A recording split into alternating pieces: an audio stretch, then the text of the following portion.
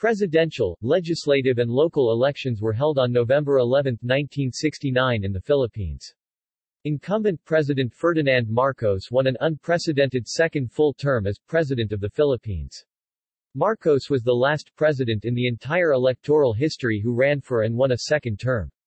His running mate, incumbent Vice President Fernando Lopez was also elected to a third full term as Vice President of the Philippines.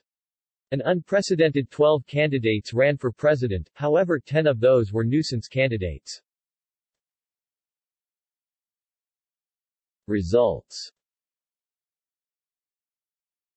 For President. Summary. Breakdown of votes. For Vice President. See also Commission on Elections.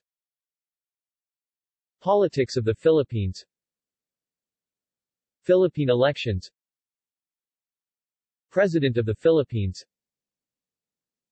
7th Congress of the Philippines. External links. The Philippine Presidency Project.